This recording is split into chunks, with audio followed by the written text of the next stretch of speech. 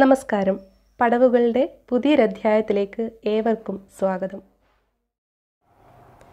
Information and communication technology അഥവാ I C ടിയിലെ basic terminologies ആണ് ഈ വീഡിയോയിൽ ഉൾപ്പെടുത്തിയിരിക്കുന്നത്. നമ്മളെല്ലാവരും കമ്പ്യൂട്ടറൊക്കെ യൂസ് ചെയ്യുന്നവരാണെങ്കിലും പലപ്പോഴും ബേസിക് ആയിട്ടുള്ള ചില കാര്യങ്ങൾ അറിയണമെന്നില്ല. ഇത്തരം കാര്യങ്ങളാണ് നെറ്റ് എക്സാമിന് മിക്കവാറും ചോദിക്കാറുള്ളത്. അപ്പോൾ നമുക്ക് അവ എന്തൊക്കെയാണെന്ന് നോക്കാം. സെൻട്രൽ പ്രോസസ്സിംഗ് യൂണിറ്റ് അഥവാ C P U C P U എല്ലാവർക്കും അറിയായിരിക്കാം. കാരണം നമ്മളെല്ലാവരും computer കണ്ടവരും use ചെയ്തിട്ടുള്ളവരുമാണ്.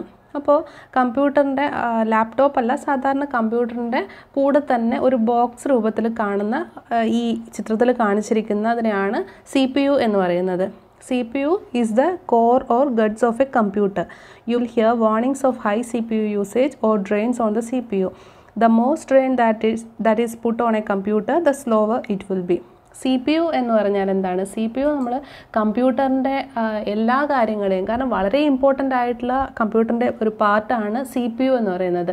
Central processing unit എന്ന് പറഞ്ഞാൽ തന്നെ അറിയാലോ. അപ്പോൾ C P U sends signals to control the other parts of the computer അപ്പോൾ കമ്പ്യൂട്ടറിന്റെ മറ്റെല്ലാ ഭാഗങ്ങളെയും നിയന്ത്രിക്കുന്നത് സി പി യു ആണ്. നമ്മുടെ ബ്രെയിൻ എങ്ങനെയാണ് നമ്മളെ കൺട്രോൾ ചെയ്യുന്നത്? അതുപോലെ തന്നെ കമ്പ്യൂട്ടറിനെ കൺട്രോൾ ചെയ്യുന്ന ഭാഗമാണ് സി പി യു അപ്പോൾ സി പി യുവിന്റെ കാര്യങ്ങൾ ഇവിടെ പറഞ്ഞിട്ടുണ്ട്. എന്താ സി പി യു യൂസേജ് കൂടുതലാണെങ്കിൽ നമുക്ക് വാർണിങ്സ് കിട്ടും. അതുപോലെ തന്നെ ഇതിന് നമ്മൾ കൂടുതൽ സ്ട്രെയിൻ കൊടുക്കുകയാണെങ്കിൽ സിസ്റ്റം തന്നെ സ്ലോ ആവുന്നത് കാണാം. അപ്പോൾ ഈ രൂപത്തിൽ തന്നെ ആവണമെന്നില്ല. സി പി യുവിന്റെ പഴയൊരു രൂപമാണിത്.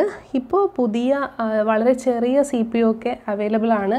ഇപ്പോഴത്തെ കമ്പ്യൂട്ടേഴ്സിലൊക്കെ അതാണ് കൂടുതലായിട്ടും യൂസ് ചെയ്യുന്നത്.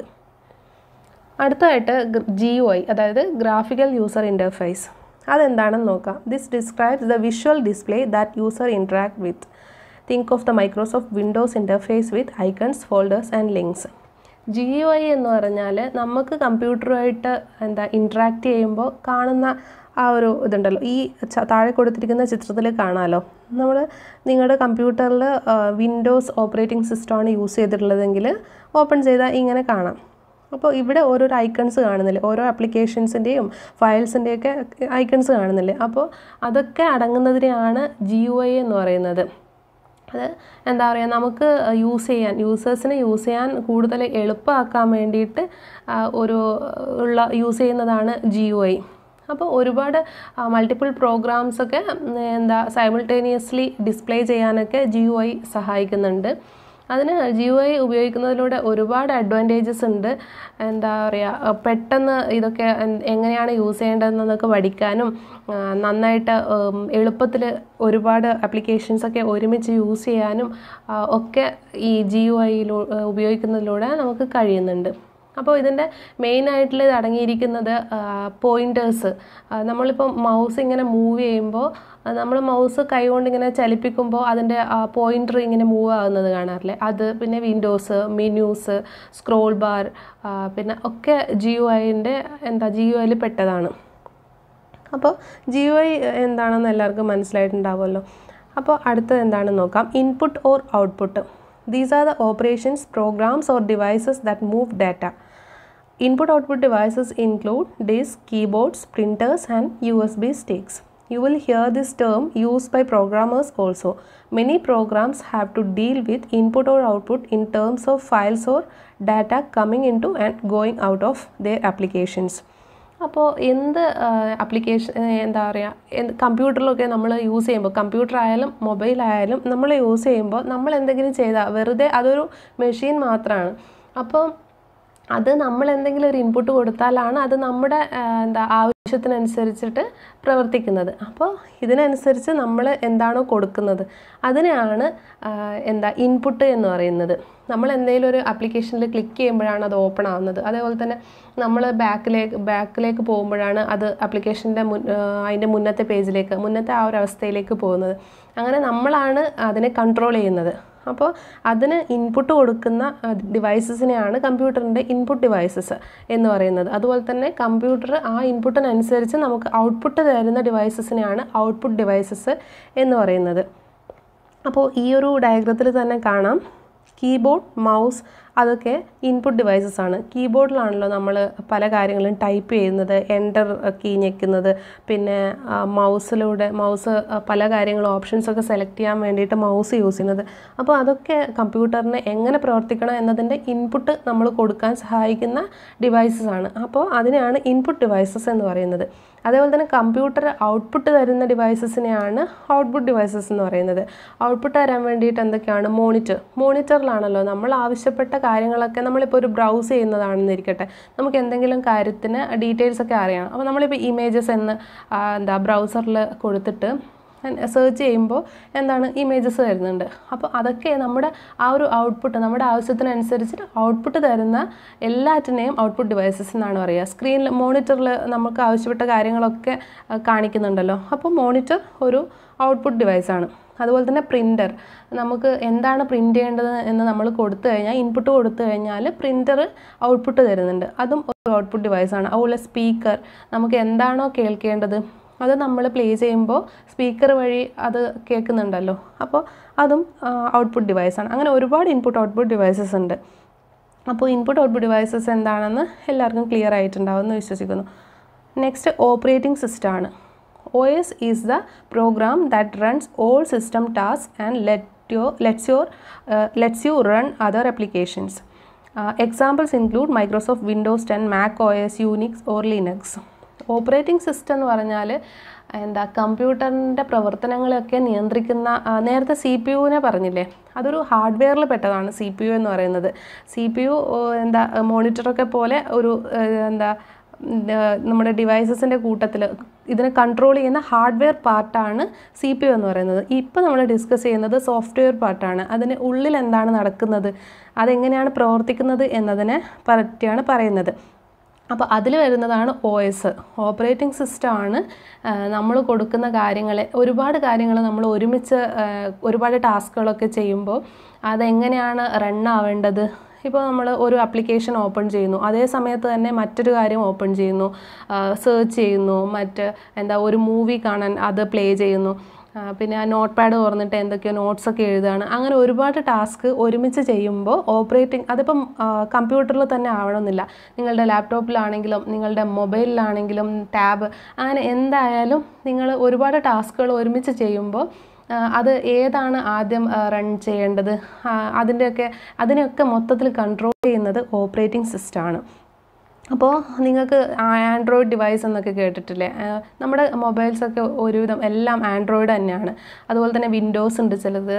അങ്ങനെ ആപ്പിളിന്റെ ഒക്കെ ആണെങ്കിൽ എന്താ ഐ ഒ എസ് അങ്ങനെ അതൊക്കെ എന്താ ഓപ്പറേറ്റിംഗ് സിസ്റ്റമാണ് അപ്പോൾ ഓപ്പറേറ്റിംഗ് സിസ്റ്റം വളരെ ഇമ്പോർട്ടന്റ് ആയിട്ടുള്ള ഒരു കാര്യമാണ്. ഏതൊരു ഏതൊരു കമ്പ്യൂട്ടറിനായാലും മൊബൈലിനായാലും ഏഹ് അതിന്റെ പ്രവർത്തനത്തെ കൺട്രോൾ ചെയ്യുന്നത് ഓപ്പറേറ്റിംഗ് സിസ്റ്റമാണ് കമ്പ്യൂട്ടറിനാണെങ്കിൽ നേരത്തെ പറഞ്ഞതുപോലെ തന്നെ ഒരുപാട് ടാസ്കുകളൊക്കെ ഒരുമിച്ച് റൺ ആവുമ്പോൾ അതിനെ ഏത് ഏതിന്റെ എന്താ പ്രയോറിറ്റിക്ക് അനുസരിച്ചിട്ട് ഒക്കെ അതിനെ ഷെഡ്യൂൾ ചെയ്യാനും പിന്നെ സി പി യു എന്നെ അലോക്കേറ്റ് ചെയ്യാനും ഒക്കെ സഹായിക്കുന്നത് ഓപ്പറേറ്റിംഗ് സിസ്റ്റമാണ് അപ്പോൾ കോമൺ ആയിട്ട് നമ്മൾ യൂസ് ചെയ്യുന്നത് ഇതൊക്കെയാണ്. ഇവിടെ കാണിച്ചിരിക്കേണ്ട ആദ്യം കാണിച്ചിരിക്കുന്നത് വിൻഡോസിന്റെ സിമ്പിളാണ് വിൻഡോസ് നമ്മുടെ കമ്പ്യൂട്ടേഴ്സിലൊക്കെ കൂടുതൽ യൂസ് ചെയ്യുന്ന വിൻഡോസ് ആണ്. അതുപോലെ തന്നെ മാക് ഒ എസ് പിന്നെ ആൻഡ്രോയിഡ് ലിനക്സ് അതൊക്കെ കാണാം. പിന്നെ വിൻഡോസിൽ തന്നെ ഒരുപാട് വേർഷൻസ് വരുന്നുണ്ട്. Windows X P Windows seven Windows Vista Windows eight Windows ten അങ്ങനെ ഒരുപാട് ഉണ്ട്. അപ്പോൾ ഇതാണ് ഓപ്പറേറ്റിംഗ് സിസ്റ്റം പിന്നെ യു എസ് ബി സ്റ്റിക്കിനെ കുറിച്ച് പറഞ്ഞിട്ടുണ്ട്. when you plug in a U S B stick to a computer you expect to be able to get your get your files immediately this device is considered plug and play a U S B flash drive also known as a U S B stick U S B thumb drive or pen drive നമ്മൾ സാധാരണ pen drive use ചെയ്യാറില്ലേ സാധാരണ ആ, എന്താ photos അല്ലെങ്കിൽ മൂവീസൊക്കെ കാണാൻ വേണ്ടിയിട്ട് copy ചെയ്ത് pen drive ഇപ്പോൾ ടി വിയിലും സപ്പോർട്ടാണ് ടെലി ടി വിയിൽ നമ്മൾ പെൻ ഡ്രൈവ് കുത്തിയിട്ട് മൂവീസൊക്കെ കാണാറുണ്ട്. അതുപോലെ തന്നെ കമ്പ്യൂട്ടറിൽ മൊബൈലിൽ ഒക്കെ യൂസ് ചെയ്യുന്ന പെൻ ഡ്രൈവ് അത് യു എസ് ബി സ്റ്റിക്കാണ് അതിന് പ്ലഗ് ആൻഡ് പ്ലേ എന്ന് പറയുന്നത് നമ്മളത് കണക്ട് ചെയ്ത ഉടനെ തന്നെ അത് നമുക്ക് യൂസ് ചെയ്യാനും കഴിയും. അപ്പോൾ അതുപോലെ തന്നെയുള്ള മൗസുകളൊക്കെ ഇപ്പോൾ അവൈലബിൾ ആണ്. യു എസ് ബിയിൽ എന്താ കുത്തിയിട്ട് പിന്നെ നമുക്ക് യൂസ് ചെയ്യാൻ കഴിയുന്നത്. അപ്പോൾ pen drive thumb drive U S B stick flash drive എന്നൊക്കെ ഇതിനെ പറയും. അതൊരു പോർട്ടബിൾ സ്റ്റോറേജ് ഡിവൈസാണ് പിന്നെ പറയുന്നത് random access memory and read only memory RAM ROM എന്നത് മിക്കവാറും എല്ലാ ഒരുവിധം എക്സാംസിനൊക്കെ നെറ്റ് എക്സാമിന് മാത്രമല്ല മറ്റ് പല എക്സാമുകളിലും ചോദിക്കാറുള്ളതാണ്. അത് വളരെ സിമ്പിളായിട്ടുള്ള കാര്യമാണ്. എന്നാലും പലപ്പോഴും നമ്മളോട് തെറ്റി പോകാറുണ്ട് അപ്പോൾ റാം എന്ന് പറഞ്ഞാൽ റാൻഡം ആക്സസ് മെമ്മറി എന്നും റോം എന്ന് പറഞ്ഞാൽ റീഡ് ഓൺലി മെമ്മറി എന്നതാണ്. The computer uses RAM to run programs and carry out instructions. A high end game is going to need a lot of RAM. RAM എന്താണ്? Run programs and carry out instructions. അപ്പോൾ random access memory എന്ന് പറയുന്നത് നമ്മൾ എന്തെങ്കിലും എന്ത് ചെയ്യുമ്പോൾ കമ്പ്യൂട്ടറിൽ എന്തെങ്കിലും ഒരു ടാസ്ക് ചെയ്യുമ്പോൾ പെട്ടെന്ന് ആ ഇൻസ്ട്രക്ഷൻസൊക്കെ നടക്കുന്നത് റാമിലാണ്. അപ്പോൾ ഇവിടെ പറയുന്നുണ്ട് high and game is going to need a lot of RAM അപ്പോൾ നമ്മൾ അങ്ങനത്തെ ഗെയിംസൊക്കെ എന്താ ഗെയിം കളിക്കില്ല? അപ്പോൾ അതൊക്കെ ചെയ്യുമ്പോൾ ഒരുപാട് റാം ആവശ്യ റാം യൂട്ടിലൈസേഷൻ വരുന്നുണ്ട്. അതുപോലെ തന്നെ the counterpart to ROM called ROM is read only think of a hard disk that can only be written once ROM എന്ന് പറഞ്ഞാൽ റീഡ് ഓൺലി മെമ്മറിയാണ് അത് ഒരു തവണ മാത്രമേ അതിലേക്ക് എന്തൊക്കെയാണ് അതിലേക്ക് ഡാറ്റ റൈറ്റ് ചെയ്യുന്നത് ഒരു തവണയാണ്. പക്ഷേ എപ്പോഴും അത് യൂസ് ചെയ്യുന്നുണ്ട്.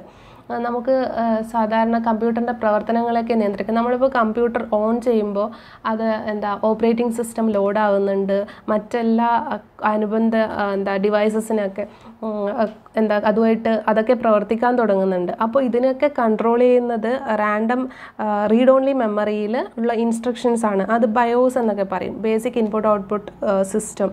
അതൊക്കെ ലോഡാവി അങ്ങനെയാണ് നമ്മൾ കമ്പ്യൂട്ടർ നമുക്ക് യൂസ് ചെയ്യാനുള്ള തരത്തിൽ ഓപ്പൺ ആയിട്ടൊക്കെ വരുന്നത്. അപ്പോൾ ബയോസ് എന്താണെന്ന് നോക്കാം.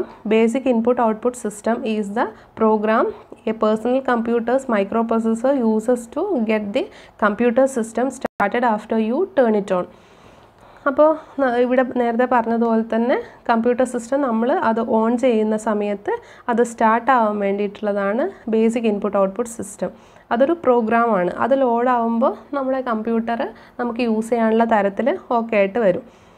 It also manages data flow between the computer's operating system and attach devices such as the hard disk video adapter keyboard mouse and printer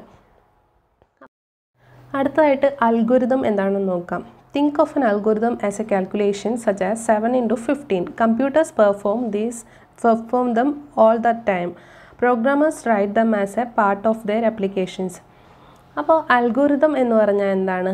നമുക്ക് എന്തെങ്കിലും ഒരു പ്രോബ്ലം സോൾവ് ചെയ്യാനായിട്ട് ഒരു അതിന്റെ എന്താ അങ്ങനെ ഒരു പ്രോബ്ലം കൊടുത്താൽ എന്താണ് എന്താ പെർഫോം ചെയ്യേണ്ടത്? കമ്പ്യൂട്ടർ എന്തൊക്കെ സ്റ്റെപ്സ് ആണ് ഫോളോ ചെയ്യേണ്ടത്? എന്നതൊക്കെ ഡിഫൈൻ ചെയ്യുന്നതാണ് algorithm a process of set of rules to be followed in calculations or other problem solving operations അപ്പോൾ കമ്പ്യൂട്ടറിൽ എന്താ ഒരു പ്രൊസീജിയർ എന്തെങ്കിലും പ്രോബ്ലം വരുമ്പോൾ അതെങ്ങനെയാണ് സോൾവ് ചെയ്യേണ്ടതിന്റെ ആ ഒരു സ്റ്റെപ്സ് അടങ്ങിയിട്ടുള്ള ആ ഒരു പ്രൊസീജിയറിനെയാണ് അതെന്താ പറയുക ഒരുപാട് ആക്ഷൻസ് ഉണ്ടായിരിക്കും.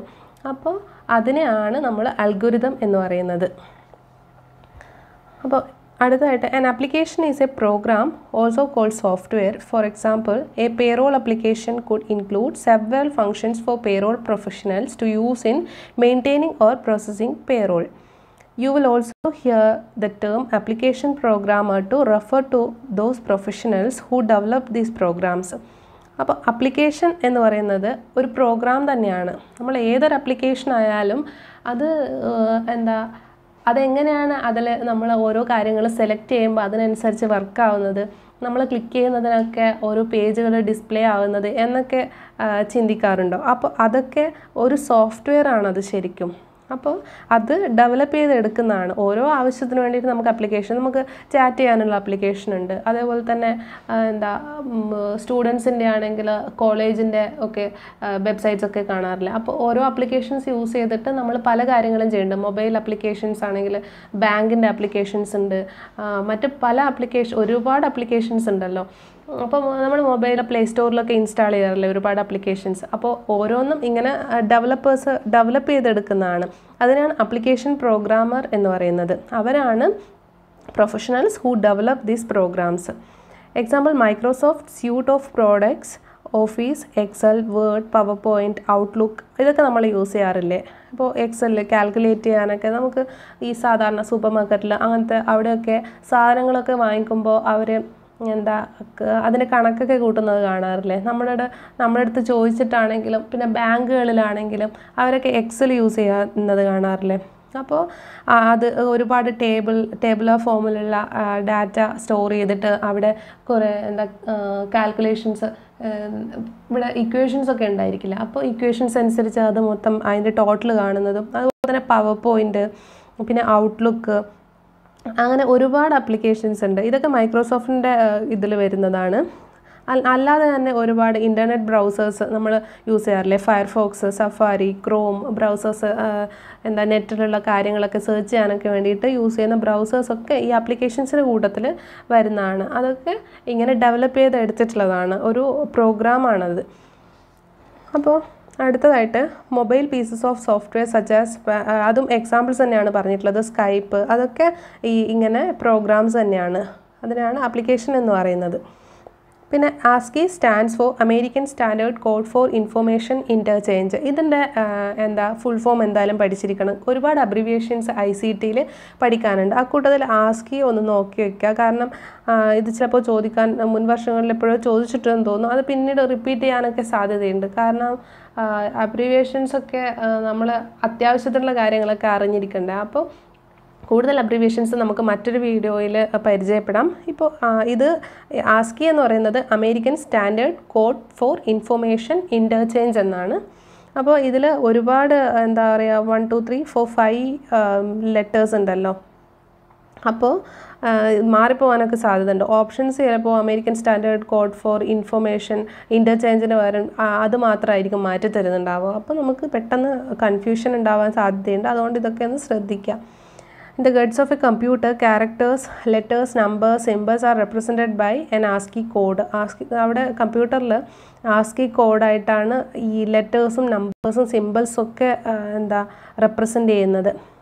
In order for all computers and software to talk we need to have a standard representation ഇതൊരു സ്റ്റാൻഡേർഡ് റെപ്രസെന്റേഷനാണ് ആസ്കി എന്ന് പറയുന്നത്. അടുത്തതായിട്ട് is the smallest piece of information it's either a one or a zero on or off or true or false computer speak in bits a byte is eight bits അപ്പോൾ കമ്പ്യൂട്ടറിൽ എല്ലാം store ചെയ്തിരിക്കുന്നത് bits ആയിട്ടാണ്. അപ്പോൾ അത് smallest piece of information എന്നാണ് പറയുന്നത്. അത് വൺ ആയിരിക്കാം അല്ലെങ്കിൽ സീറോ ആയിരിക്കാം. അപ്പോൾ അത് ഓൺ ഓർ ഓഫ് എന്ന് പറയുന്നത് കമ്പ്യൂട്ടർ ബിറ്റ്സിന്റെ രൂപത്തിലാണ് ഡാറ്റ സ്റ്റോർ ചെയ്തിരിക്കുന്നത്. അതുപോലെ തന്നെ ഒരു ബൈറ്റ് എന്ന് പറയുന്നത് എയ്റ്റ് ബിറ്റ്സ് ആണ്. പിന്നെ അടുത്തതായിട്ട് Boolean logic relates to ones and zeros it's either true or false again computers think in bits and Boolean logic at the root all decisions are true or false in a computers mind. അപ്പോൾ bit എന്ന് പറഞ്ഞാൽ smallest piece of information ആണ്. ഏറ്റവും ചെറിയ information store ചെയ്യുന്നതിന്റെ ഏറ്റവും ചെറിയ unit ആണ് ബിറ്റ് എന്ന് പറയുന്നത്. കമ്പ്യൂട്ടറിന് നമ്മുടെ ഭാഷയൊന്നും അറിയില്ല. കമ്പ്യൂട്ടറിന് ഇംഗ്ലീഷ് ആയാലും മലയാളം ആയാലും കമ്പ്യൂട്ടറിന് ഒരു ഭാഷ അറിയാത്തതുകൊണ്ട് കമ്പ്യൂട്ടറിൽ നമ്മൾ എന്ത് കൊടുത്താലും അത് സ്റ്റോർ ചെയ്യുന്നത് സീറോ ഓർ വൺ എന്ന ഫോമിലാണ് ബൈനറി ഫോമിലാണ് അപ്പോൾ അതിനെയാണ് എന്താ കമ്പ്യൂട്ടേഴ്സ് അതിനാണ് ബിറ്റ്സ് എന്ന് പറയുന്നത്. അപ്പോൾ എയ്റ്റ് ബിറ്റ്സ് ആണ് വൺ ബൈറ്റ് അപ്പോൾ അതിന്റെ കുറേ കാര്യങ്ങളുണ്ട്. എത്രയാണ് kilobyte megabyte gigabyte G B അതൊക്കെ നമുക്ക് എല്ലാവർക്കും അറിയാവുന്ന കരുതുന്നു. കാരണം മുന്നേ ഒരു question answer previous year questions discuss ചെയ്യുമ്പോൾ അതൊക്കെ പറഞ്ഞിട്ടുള്ളതാണ്. അതൊക്കെ നിങ്ങളൊന്ന് കണ്ടു നോക്കുക. ഇതറിയില്ലെങ്കിൽ. പിന്നെ Boolean logic relates to ones and zeros it's either true or false Boolean ഇത് എന്താ പറയുക ട്രൂ അല്ലെങ്കിൽ ഫോൾസ് ആയിരിക്കും. Again computers think in bits and Boolean logic at the root all decisions are true or false in a computers mind Boolean എന്ന് പറഞ്ഞാൽ തന്നെ true or false അത് രണ്ട് വാല്യൂസ് മാത്രമേ പറ്റുള്ളൂ. അത് എന്താ വൺസ് ആൻഡ് സീറോസ് എന്ന് പറയുന്നത് പോലെ ട്രൂ ഓ ഫോൾസ് അപ്പോൾ കമ്പ്യൂട്ടറിന്റെ ഡിസിഷൻ എന്താ പറയുക ട്രൂ അല്ലെങ്കിൽ ഫോൾസ് അതിനെയാണ് ബൂളിയൻ ലോജിക് എന്ന് പറയുന്നത്.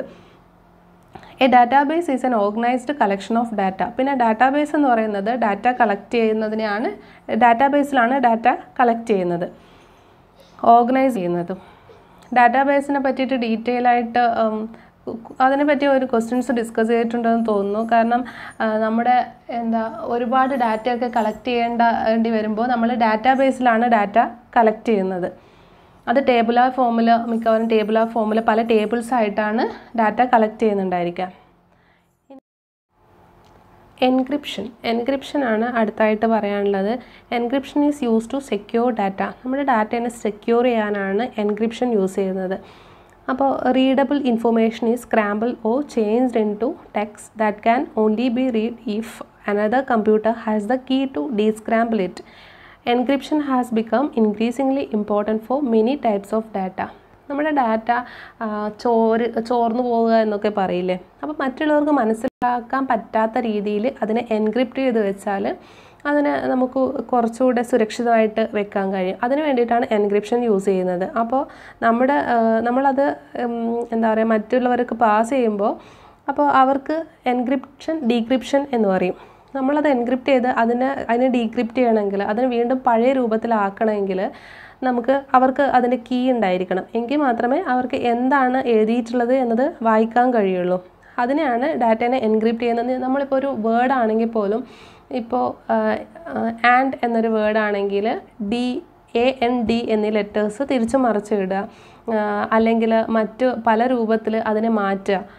ഓരോ ലെറ്ററിന് പകരം മറ്റേതെങ്കിലും സിമ്പൽ യൂസ് ചെയ്യുക മറ്റേതെങ്കിലും ലെറ്റർ യൂസ് ചെയ്യുക അങ്ങനെ യൂസ് ചെയ്തിട്ട് അത് അതിനെ വായിക്കാൻ പറ്റാത്ത രീതിയിലാക്കിയിട്ട് അത് എന്താ അത് എത്തി അത് നമുക്ക് നമ്മുടെ കയ്യിൽ അതിനെ ഡീക്രിപ്റ്റ് ചെയ്യാനുള്ള ആ ഒരു കീ ഉണ്ടെങ്കിൽ മാത്രമേ അതിനെ പഴയ രൂപത്തിലേക്ക് കൊണ്ടുവരാൻ കഴിയുള്ളൂ. അതുകൊണ്ട് അതിനെയാണ് എൻക്രിപ്ഷൻ എന്ന് പറയുന്നത്. അപ്പോൾ ഇപ്പോൾ ഒരുവിധം എല്ലാറ്റിലും എൻക്രിപ്ഷൻ യൂസ് ചെയ്യുന്നുണ്ട്. കാരണം ഡാറ്റ സുരക്ഷിതമായിട്ട് വെക്കാൻ വേണ്ടിയിട്ടാണ് അങ്ങനെ ചെയ്യുന്നത്. അടുത്തതായിട്ട് programming languages a specific application or program that is use to develop programs is called a programming language some of the common languages include Java C C plus plus or Visual Basic programming languages എന്ന് പറയുന്നത് എന്താ നമ്മൾ എല്ലാം ഈ applications പറഞ്ഞില്ലേ അതൊക്കെ ഉണ്ടാക്കാൻ വേണ്ടിയിട്ട് യൂസ് ചെയ്യുന്നത് പ്രോഗ്രാമിംഗ് ലാംഗ്വേജ് യൂസ് ചെയ്തിട്ടാണ് അതൊക്കെ ഉണ്ടാക്കുന്നത്. അതിനെ ഡെവലപ്പ് ചെയ്യാൻ വേണ്ടിയിട്ട് പലതരത്തിലുള്ള പ്രോഗ്രാമിംഗ് ലാംഗ്വേജസ് ഉണ്ട്. അപ്പോൾ ഓരോ ആപ്ലിക്കേഷനും യൂസ് ചെയ്യുന്നത് ഡിഫറെന്റ് പ്രോഗ്രാമിംഗ് ലാംഗ്വേജസ് ആയിരിക്കും. അതിന്റെ കോമൺ ആയിട്ട് നമ്മൾ യൂസ് ചെയ്യാറുള്ളത് Java C C plus plus Visual Basic ഒരുപാട് ലാംഗ്വേജസ് ഉണ്ട്. പൈത്തൺ പേൾ അങ്ങനെ ഒരുപാട് ലാംഗ്വേജസ് ഉണ്ട്. അത് യൂസ് ചെയ്തിട്ടാണ് ഈ അപ്ലിക്കേഷൻസ് ഒക്കെ ഉണ്ടാക്കിയിരിക്കുന്നത്. അടുത്തതായിട്ട് structured query language S Q L is use to access or update data in databases നേരത്തെ ഡാറ്റാബേസിനെ പറ്റി പറഞ്ഞില്ലേ? നമുക്ക് ഒരു കോളേജിന്റെ ഡാറ്റാബേസ് അല്ലെങ്കിൽ മറ്റേതെങ്കിലും ഒരുപാട് വെബ്സൈറ്റ്സ് ഉണ്ടല്ലോ. ഗവൺമെന്റിന്റെ ആണെങ്കിൽ നാട്ടിലെ ജനങ്ങളുടെയൊക്കെ കണക്കും വയസ്സ് അതൊക്കെ സ്റ്റോർ ചെയ്തിരിക്കുന്നത് ഒരു ഹോസ്പിറ്റലിന്റെ ആണെങ്കിൽ പേഷ്യൻസിന്റെ ഡീറ്റെയിൽസ് അതൊക്കെ സ്റ്റോർ ചെയ്തിരിക്കുന്നത് നമുക്ക് പെന്നും പേപ്പറും ഒക്കെ എടുത്ത് എഴുതി ടേബിൾ വരച്ചിട്ട് ഒരുപാടൊന്നും സ്റ്റോർ ചെയ്യാൻ ഭയങ്കര ബുദ്ധിമുട്ടായിരിക്കും. അപ്പോൾ കമ്പ്യൂട്ടറിൽ നമ്മൾ എൻട്രി ചെയ്യുന്ന ഡാറ്റയൊക്കെ ഡാറ്റാബേസിലാണ് സ്റ്റോർ ചെയ്യുന്നത്. നമ്മുടെ ആവശ്യത്തിനനുസരിച്ച് നമുക്ക് പേരടിച്ചാൽ പിന്നെ അയാളുടെ ഡീറ്റെയിൽസ് ഒക്കെ വരുന്നത് കാണാറില്ലേ? അപ്പോൾ അതൊക്കെ ഡാറ്റാബേസിൽ സ്റ്റോർ ചെയ്യുന്നത് കൊണ്ടാണ് നമുക്ക് ഈസി ആയിട്ട് അത് ആക്സസ് ചെയ്യാനും കഴിയുന്നത്. അപ്പോൾ അതിന് യൂസ് ചെയ്യുന്നത് എസ് ക്യു എൽ ആണ് സ്ട്രക്ചേർഡ് ക്വറി ലാംഗ്വേജ് അപ്പോൾ ഡാറ്റാ ബേസിലുള്ള ഡാറ്റ ആക്സസ് ചെയ്യാൻ നമുക്ക് ആവശ്യമുള്ളപ്പോൾ ആ ഡാറ്റ എടുക്കാനും അതേപോലെ തന്നെ ആ ഡാറ്റയിൽ ചേഞ്ചസ് വരുത്താനും ഒക്കെ വേണ്ടിയിട്ട് നമ്മൾ യൂസ് ചെയ്യുന്നത് എസ് ക്യു എൽ എന്ന് പറയുന്ന സ്ട്രക്ചേർഡ് ക്വറി ലാംഗ്വേജസ് ആണ്. അതിൽ തന്നെ ഡിഫറെന്റ് ആയിട്ട് ടൈപ്സ് ഉണ്ട്.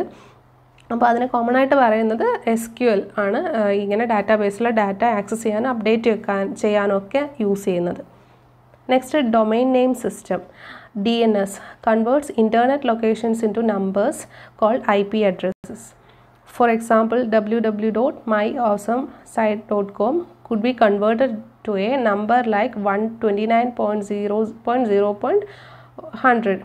This number is understood by computers. Domain name system D N S നമ്മുടെ ഇന്റർനെറ്റ് ലൊക്കേഷൻസിനെ നമ്പേഴ്സായിട്ട് കൺവേർട്ട് ചെയ്യാണ് ചെയ്യുന്നത്. ഇങ്ങനെയുള്ള അഡ്രസ്സസ് അതായത് ഡബ്ല്യൂ ഡബ്ല്യൂ ഡോട്ട് ഇതിനെ ഒരു ഐ പി അഡ്രസ്സായിട്ട് കൺവേർട്ട് ചെയ്യാണ് ഡി എൻ എസ് ചെയ്യുന്നത്. അത് കമ്പ്യൂട്ടേഴ്സിന് മനസ്സിലാവും. കാരണം ഈ ഒരു ഐ പി അഡ്രസ്സ് കൊടുത്താൽ അത് ഇതിലേക്കാണ് പോകുന്നത്. One twenty nine point zero zero point one zero zero എന്ന് പറഞ്ഞാൽ W W dot my awesome dot site hyphen site dot com എന്നതാണ് എന്നതിന്റെ അഡ്രസ്സാണ് എന്ന് കമ്പ്യൂട്ടേഴ്സിന് മനസ്സിലാവും. അപ്പോൾ അതാണ് ഡൊമൈൻ നെയിം സിസ്റ്റം എന്ന് പറയുന്നത്. അടുത്തതായിട്ട് hypertext markup language H T M L H T M L എന്താ പ്രോഗ്രാം അതൊരു പ്രോഗ്രാമിംഗ് ലാംഗ്വേജ് ആണ്. That the web is written in. You will see web pages names ending in dot H T M L നമ്മൾ സാധാരണ web pages നെറ്റിലൊക്കെ ഇങ്ങനെ search ചെയ്യുമ്പോൾ നമുക്ക് എന്തെങ്കിലും ഒരു ഇമേജ് ആയിക്കോട്ടെ അല്ലെങ്കിൽ നമ്മുടെ ഡാറ്റ ഒക്കെ നമ്മളിങ്ങനെ പുതിയ പേജുകളിലായിട്ട് ഓപ്പൺ ആയിട്ട് വരില്ലേ? അപ്പോൾ അതിന്റെയൊക്കെ അവസാനം നിങ്ങൾക്ക് ആ ഫയൽ എന്ന് പറയുന്നത് dot H T M L ഫയലായിരിക്കും കാരണം ഓരോ ആപ്ലിക്കേഷൻസും ഇപ്പോൾ വെബ്സൈറ്റ്സ് ഒക്കെ നമുക്കിപ്പോൾ വിക്കിപീഡിയ അങ്ങനത്തെ ഒരുപാട് വെബ്സൈറ്റ്സ് നമ്മൾ യൂസ് ചെയ്യുന്നില്ലേ? അപ്പോൾ ആ ഫയൽസ് ഒക്കെ എച്ച് ടി എം എൽ ഫോമാറ്റിലുള്ളതായിരിക്കും അപ്പോൾ ഓരോ ഓപ്ഷൻസ് ക്ലിക്ക് ചെയ്യുമ്പോഴും പുതിയ പുതിയ ഫയൽസ് എന്താ പേജസ് സോറി പേജസ് ഓപ്പൺ ആയിട്ട് വരും. അപ്പോൾ ആ പേജസ് ഒക്കെ എച്ച് ടി എം എല്ലാണ് അവിടെ യൂസ് ചെയ്തിരിക്കുന്നത്. Programming language H T M L എന്നതാണ്. അപ്പോൾ അതാണ് ഹൈപ്പർ മാർക്കപ്പ് ലാംഗ്വേജ് അപ്പോൾ അത് അത് കണ്ടാൽ തന്നെ അറിയാം. നിങ്ങൾക്ക് അത് ഓപ്പൺ ആയിട്ട് വരുമ്പോൾ തന്നെ അത് ഏത് ഫോമാറ്റിൽ അതിന്റെ ആ ഒരു അഡ്രസ്സിന്റെ കൂടെ പേജിന്റെ പേരിന്റെ കൂടെ തന്നെ dot H T M L എന്ന് നിങ്ങൾക്ക് കാണാൻ കഴിയും. അതാണ് എച്ച് ടി എം എൽ എന്ന് പറയുന്നത്. അപ്പോൾ ഇതുപോലുള്ള ഒരുപാട് കാര്യങ്ങൾ ഐ സി ടിയിൽ പറയാനുണ്ട്. ഇതിൽ എന്താ ഐ സി ടിയിലുള്ള സിലബസ് അനുസരിച്ച് എക്സ്പ്ലെയിൻ ചെയ്യുന്നതിനേക്കാളും നല്ലത് പ്രധാനപ്പെട്ട കാര്യം പ്രധാനപ്പെട്ട കാര്യങ്ങൾ മാത്രം ഇങ്ങനെ സെപ്പറേറ്റ് ആയിട്ട് എടുത്തിട്ട് എക്സ്പ്ലെയിൻ ചെയ്യുന്നതാണെന്ന് തോന്നി. അത് കൂടുതൽ ഹെൽപ്ഫുൾ ആയിരിക്കും. കാരണം അനാവശ്യമായിട്ടുള്ള കാര്യങ്ങളൊന്നും പറയാതെ ആവശ്യത്തിനുള്ള ആ ഒരു എന്താണ് സംഭവം എന്താണ് എന്നത് മനസ്സിലാക്കിയാൽ നിങ്ങൾക്ക് പെട്ടെന്ന് എക്സാമിന് അത് വരികയാണെങ്കിൽ നിങ്ങൾക്ക് പെട്ടെന്ന് ഓർത്തെടുക്കാൻ കഴിയും. അപ്പോൾ ഇതിലുള്ള കൂടുതൽ അബ്രിവേഷൻസും മറ്റ് ടെർമിനോളജീസും ഒക്കെ നമുക്ക് മറ്റൊരു വീഡിയോയിൽ പരിചയപ്പെടാം. ഈ വീഡിയോ നിങ്ങൾക്ക് ഇഷ്ടപ്പെട്ടിട്ടുണ്ടെങ്കിൽ ലൈക്ക് ചെയ്യാനും മറ്റുള്ളവർക്ക് ഷെയർ ചെയ്യാനും മറക്കരുത്. തുടർന്നും വീഡിയോസ് കാണുന്നതിനായി ചാനൽ സബ്സ്ക്രൈബ് ചെയ്ത് ബെല്ലൈക്കൺ കൂടെ പ്രസ് ചെയ്യുക. ഈ ചാനലിലെ മറ്റെല്ലാ വീഡിയോസും കാണാൻ നിങ്ങൾക്ക് താല്പര്യമുണ്ടെങ്കിൽ വീഡിയോസ് ടാബിൽ ക്ലിക്ക് ചെയ്യുക അല്ലെങ്കിൽ പ്ലേലിസ്റ്റ് സന്ദർശിക്കുക. താങ്ക്